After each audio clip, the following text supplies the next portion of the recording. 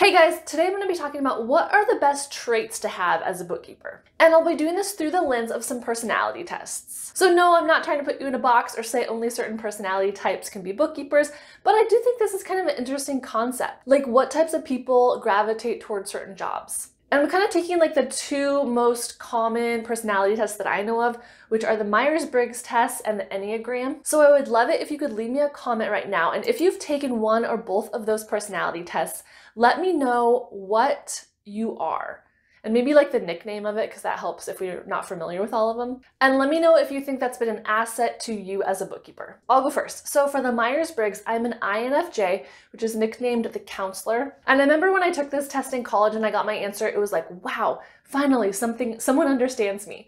Because i guess like infj is the most rare personality type. And so a lot of times we feel like we're like weird and like no one gets us. And we're also known to be pretty sensitive and empathetic. And so i did identify with a lot of those things. Not that i was like ever like an outcast or anything, but I was like, oh, there's some stuff people like don't get about me. Or I'm like a little quirky. And it also says you have this like big inner world, so like kind of like a big imagination, which I really identified with, especially when I was younger. So I don't really know how that relates to bookkeeping other than maybe being able to empathize with my clients. So know what they need, know what they want, and be able to solve their problems for them. I think that is one of my strengths. And maybe even within my YouTube channel. I can kind of like pinpoint what do you want to know as a new bookkeeper and kind of speak to that. All right, and for the Enneagram, I just took it again. I'll put my results up on the screen.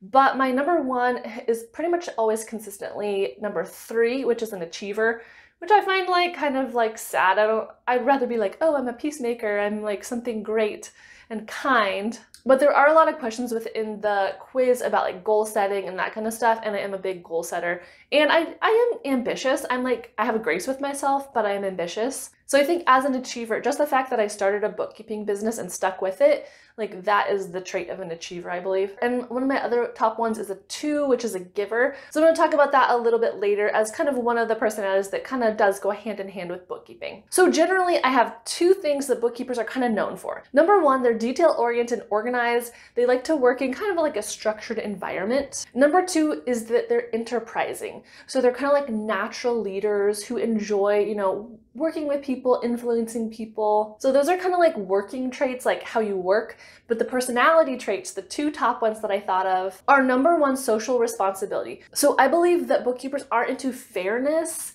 And thankfully, most of the accountants and bookkeepers that I know and that I've come across want to do the right thing. They're not trying to cheat the system. They're trying to encourage their clients as much as possible to follow the rules and be ethical. I did make kind of like a humorous video about the worst clients ever. You can check it out. The thumbnail looks like that. And that speaks to some of the times that maybe clients want to bend the rules, but you as a bookkeeper do not. And number two, personality trait is agreeableness. And this is just kind of that sympathy or empathy to clients. Like you want to help them, you value harmony, that kind of thing.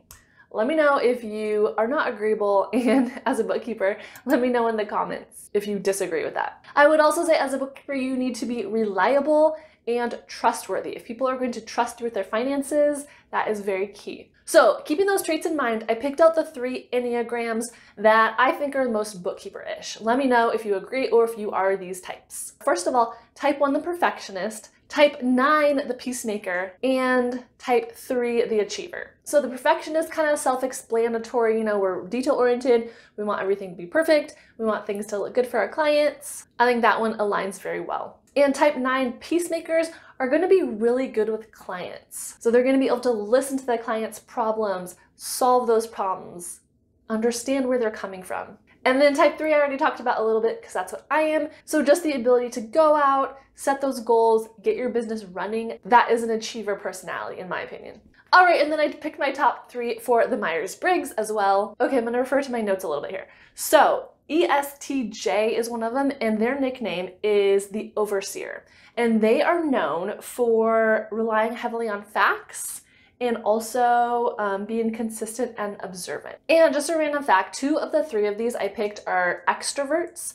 So I want to know also if you are an introvert or an extrovert. I identify really strongly as an introvert and I am friendly and people sometimes are surprised that I'm an introvert, but I 100% need tons of downtime and alone time to recharge. All right, the second one I picked out is a ISTJ, and these are the examiners, and they are known to be conscientious, dedicated, and honorable. So again, this really plays to that trustworthiness trait that we were talking about earlier. All right, and the other one is an ENFJ, which is similar to mine, just extroverted, not introverted. And these types I actually learned are considered mentors, which makes sense for me. I think both the introverted and extroverted are considered mentors. So that makes sense that I kind of gravitated to mentoring other bookkeepers. This is they're positive, supportive, and they connect well with others. And I'll link in the description box where I found a lot of these descriptions here. And of course, I would never say that someone like couldn't be a bookkeeper because of how they scored on some personality test. I do think it's interesting to kind of like think it through, find the similarities, find the differences, analyze yourself. Like, what do you like about this job? What are your strengths? What are your weaknesses? Like, what drew you to this business? What drew you to this career? I would love it if you subscribe to my YouTube channel to get a new bookkeeping video every week. I don't even think I said my name yet, but if you've never met, thank you for making it all the way to the end. And my name is Morgan. My website is finepoints.biz. I love to help bookkeepers. I have a bunch of free resources. I have a free masterclass and a free checklist and tons of other stuff. You can also look in the description box for a lot of that information. And I need to say this more, but a thumbs up helps me out a ton. It really helps YouTube like promote this video more so other people can see it and promote my channel. So thank you guys so much for all of your support. I really appreciate you watching and commenting and liking my videos. It means so much and it's so fun to get to know you. I'll be talking to you again next week with another video. Take care.